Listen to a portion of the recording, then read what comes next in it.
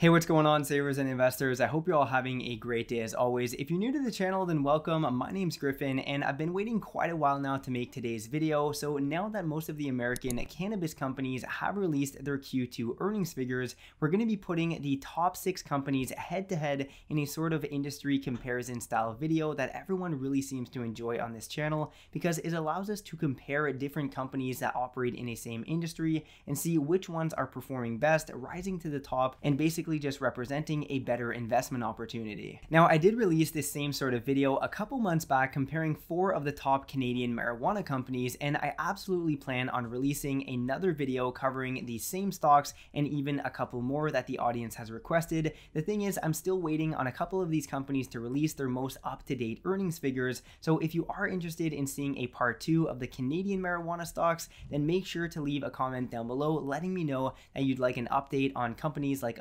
Canopy, and Aurora. So yes, today's video is featuring American companies, however, five out of the six that we're going to be speaking about are also available for trade in Canada on the Canadian Securities Exchange. So if you're Canadian and you want to get in on some of these stocks, not to worry, you can do so on the CSE. Typically, I do speak about companies that trade on the Toronto Stock Exchange, however, every once in a while, I like to switch it up and talk about different investment opportunities that I find interesting and that I think would be of value to the audience. FYI, I'm also in the middle of preparing a Q3 earnings analysis video of the big five banks in Canada with two more that were requested by the audience. So we're going to be comparing the Q3 numbers of all seven of the largest banks in Canada. So if you want to make sure to not miss that video, make sure to hit the bell button so that you're notified whenever I release new pieces of content. For today's video though, as mentioned, we're going to be heading south of the border and comparing six of the top American cannabis companies that were requested by viewers. And this includes Trulieve Cannabis Corp, ticker TCNN F, Curaleaf Holdings, ticker CURLF, Green Thumb Industries, ticker GTBIF, Cresco Labs, ticker CRLBF, GW Pharmaceuticals, ticker GWPH, and finally Harvest Health and Recreation, ticker HRVSF.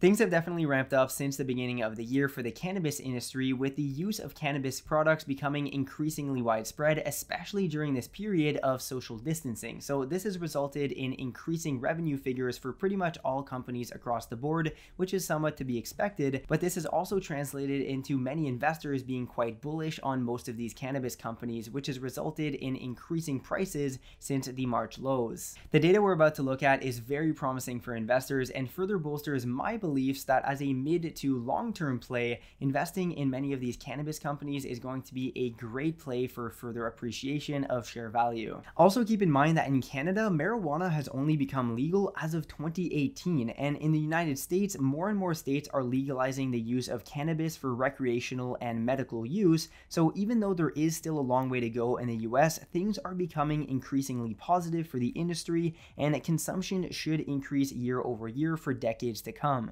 Now, one last thing before we dive into the data, if you are Canadian and want to purchase any of these stocks, you need to do so with a brokerage that carries stocks that trade on the CSE. My recommendation for a discount brokerage would be Questrade. This carries CSE stocks, and if you use one of the links down in the description, you can get $50 in free trades. Okay, so here we are on the Excel spreadsheet where I've listed the six stocks that we're going to be comparing today at the top with several blocks below containing relevant financial information about these companies, mostly for the recently reported quarter, which is Q2 2020, but we're also going to be comparing these figures throughout the sheet to Q1 2020 and Q2 2019 figures to highlight the growth of these stocks. Below the company names, we have their ticker symbols for OTC listings in the United States and then CSE listings in Canada, except for GW Pharmaceuticals, which is only available on the NASDAQ. So, yes, as mentioned, these are all dual listed stocks. Other preliminary information to mention is that that all the stock prices and market capitalizations are as of August 20th after hours. That's the time that I'm filming this video. So market values will have changed by the time you watch this video, but all the financial information will remain the same nonetheless. And also everything in this sheet is reported in thousands of US dollars. So for example, with Trulieve Cannabis, their market cap is 2.4 billion and not 2.4 million. With that said, let's first start off with the current market cap and stock price of these six companies, with the largest of them all being Curaleaf Holdings at $4.178 billion in market cap and a stock price of $7.97 a share. Now, unlike the last video on the Canadian weed companies where I included the percent drop from 2018 levels, most of these companies only have stock data that goes back a year or so because they just became public companies. So instead, I've included a row that showcases their lowest price in March and percent increase since then as a way to highlight which companies investors are most bullish on right now. And from this, we'll also be able to see if after such rallies, these stocks still have growth ahead of them. Moving on, Trulieve has a market cap of 2.428 billion with a share price of $21.30, which is up 255% since March lows. And honestly, after such a run, it can be somewhat concerning that this type of growth won't be sustainable and therefore opportunity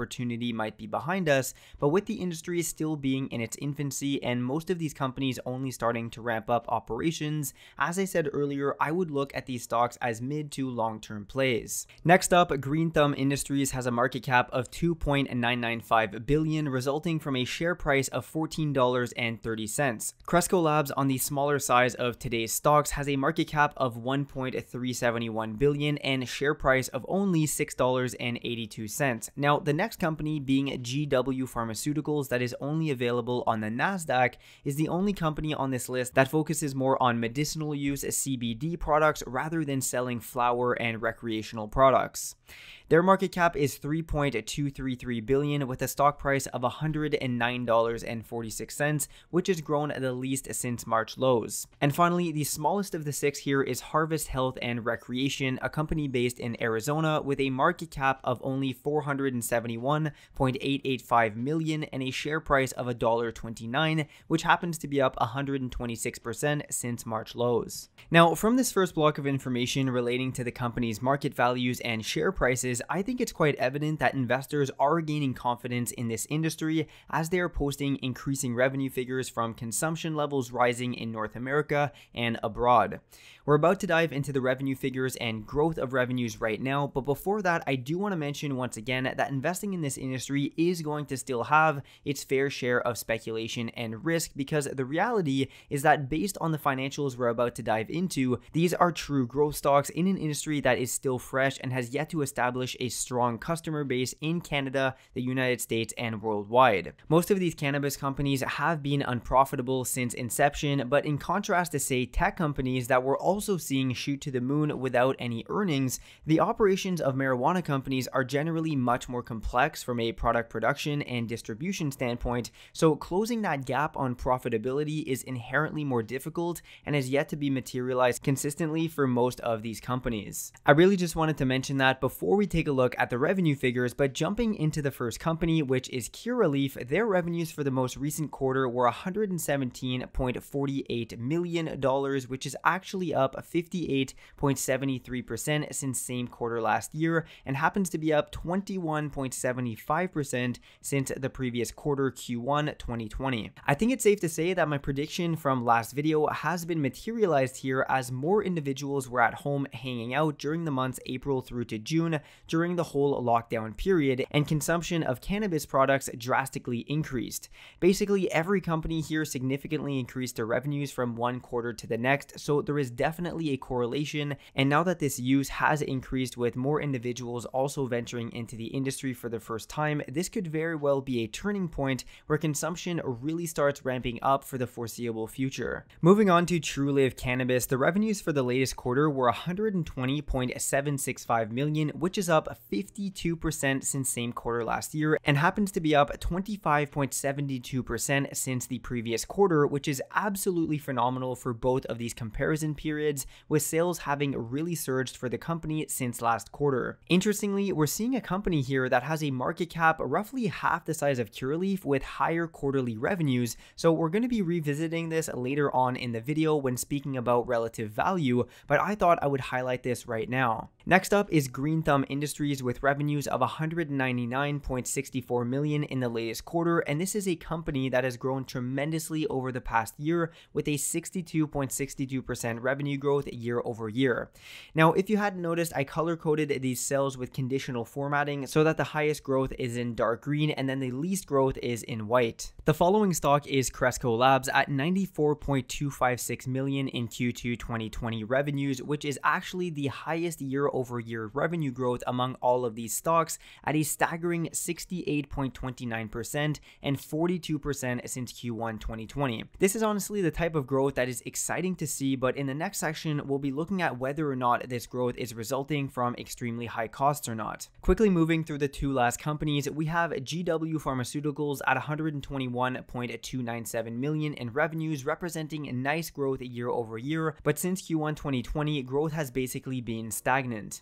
And finally, by far the smallest company in market cap being Harvest Health and Recreation had revenues of 55.669 million for very impressive growth both year over year and since last quarter. So from these two blocks of data, what am I getting out of this? Well, obviously it's evident that the sale of cannabis products and consumption has been dramatically increasing since lockdown periods, which has driven stock price points to rally extensively, most of them above 200%. As we clearly see from the revenue figures these companies are in complete growth and expansion mode, with revenues increasing by double digit percentages quarter over quarter, demonstrating that they are still in their infancy stage with consumption of cannabis in their countries of operation increasing gradually over time as the industry matures. Just like I mentioned in the previous comparison video, we have to keep in mind here that not two, three years ago, this was a completely illegal product in North America that is going to require years, if not generations, to become mainstream and consumed by a wide wider audience on a larger scale. Now, it goes without saying that it would have been favorable to get in on these stocks sooner, sometime in March, but what we'll be trying to determine is whether or not there is still value to be had at these prices, considering growth trends and current financial ratios for each of these companies. Let's now jump into the next block of figures to see if these companies are getting a better grip on their production and operating expenses, hopefully translating into positive operating income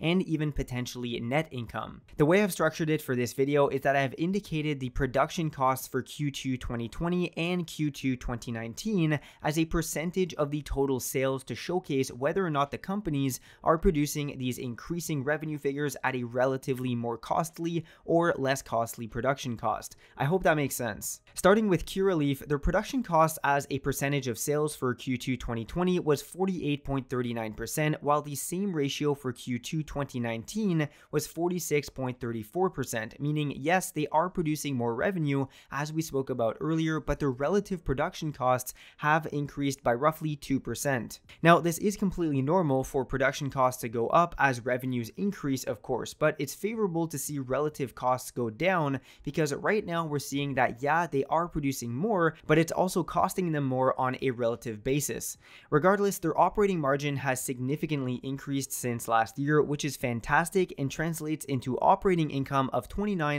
0.691 million. The operating income or loss basically means how much the company has left over when subtracting production costs and operating expenses from their revenues. Finally, as with most of these companies, net income is negative as they are reinvesting all of their earnings back into growth and expansion, which I would want to see anyways for this type of company. Okay, so I'm not going to go through all of the production and margin numbers for each company because this video would be like an hour long and we still have lots to cover, but if you want to analyze this more in detail, feel free to pause the video and take a screenshot. I'll just cover the most important highlights, starting with Trulieve Cannabis posting the highest operating income and operating margin for Q2 2020. This is accompanied with the fact that their relative production costs since last year have diminished by 10%, which is great to see and means it is costing them relatively less to produce more. Green Thumb has also posted a nice decrease in production costs with a significant increase in operating margin, turning positive this year. Harvest Health is also looking very promising, especially as the smallest company here that has reduced the production cost as a percentage of sales by nearly 20% and has managed to just turn their operating margin positive from the worst operating margin last year. Finally, let's speak about GW Pharmaceutical, which let's remember is a producer of medicinal use CBD products mainly instead of flower and recreational use products like the other companies. While their relative production costs are very low, their operating expenses are extremely high, even surpassing revenue figures because they have extremely high research and development costs associated with their product line.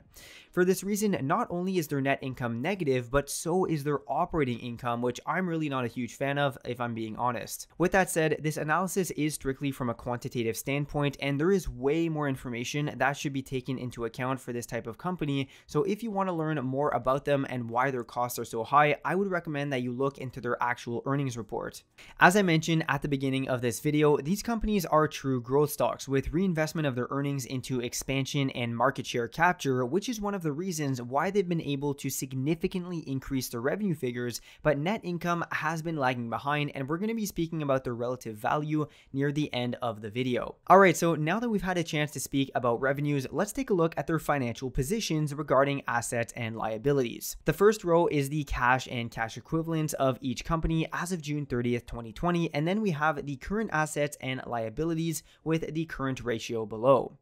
The liquid cash position of Curaleaf is 122.763 million with current assets of 340.14 million and current liabilities of 129.547 million, resulting in a current ratio of 2.63, which is very nice considering that these companies are in such growth mode right now, and this basically just means that Curaleaf could pay its current liabilities 2.6 times over using their current assets only. I like to see companies with a current ratio above 2, so most of all these companies are checking out, but even at that, since these companies are experiencing explosive revenue growth, this isn't a huge issue for me because these companies are bringing in increasing revenues each quarter.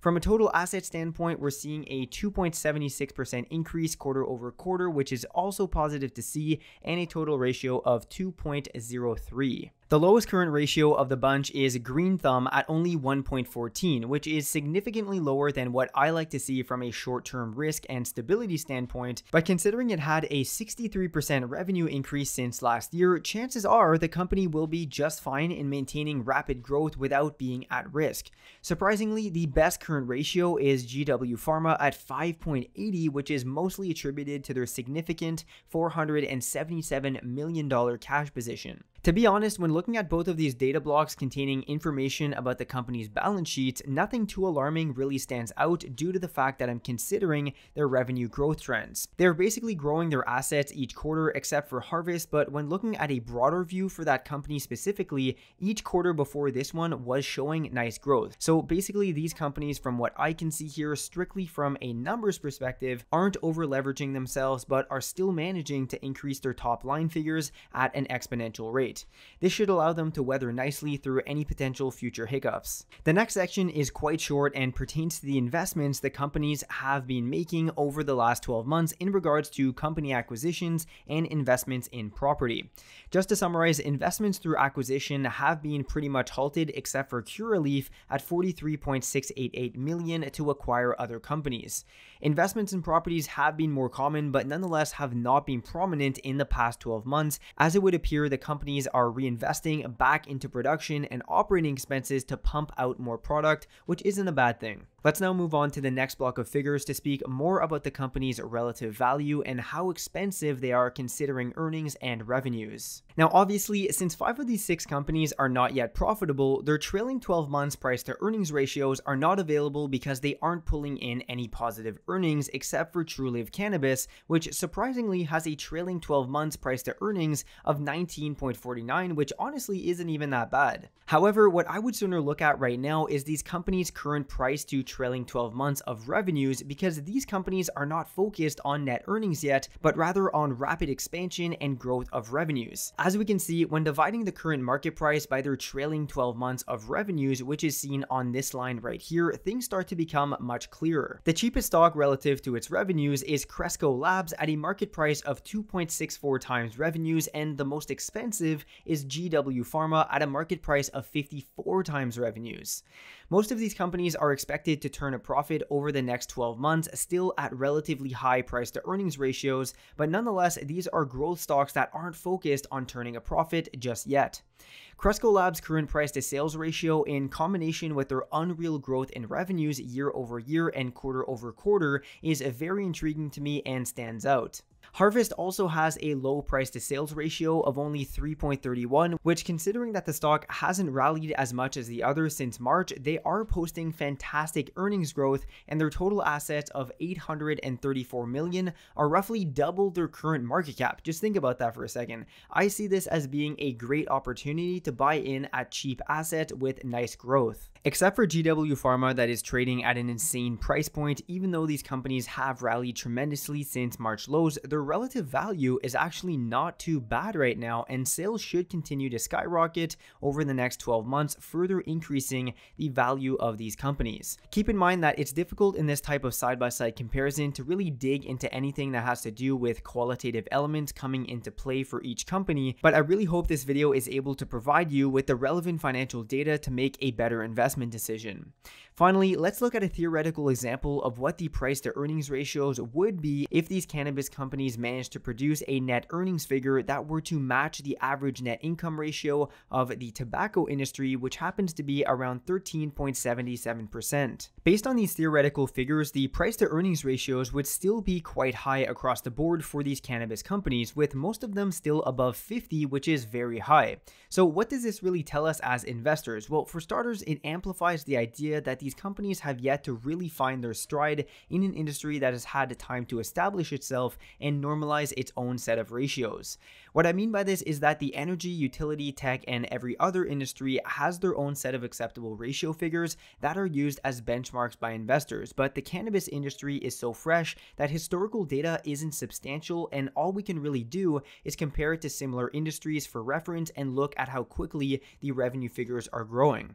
One thing that's certain is that cannabis companies will have to focus on significantly reducing the cost of production of their cannabis products to increase their profit margin, as well as reduce the operating costs, which are both significantly cutting into their profit margin. This is a reoccurring theme throughout all of the companies that we've looked at here, and for the most part, seems to be improving as these companies are establishing themselves, which is definitely good to see. From what I see after conducting this analysis, most of these companies are actually quite promising, even at their current price points, but if I had to choose two based on everything considered, I would probably choose Cresco for their tremendous growth in revenues, nice asset growth, and relative price to trailing 12 months of revenues. And the second I would go with would probably have to be Harvest due to their price to sales, nice growth, relatively low price increase since March, and extremely high assets to price, even though it's definitely higher risk than some of the others because of its smaller size. With that said, I think the overall theme that we're seeing in this industry right now is growth across the board and opportunity long term for pretty much any one of these companies. Okay, so we've covered a lot of financial data and information in this video, but with everything we just covered, what are my final thoughts on this analysis? First of all, as I had mentioned in my last cannabis industry comparison video, even though these cannabis stocks are rallying right now, if you're looking to put some money into them as a genuine investment,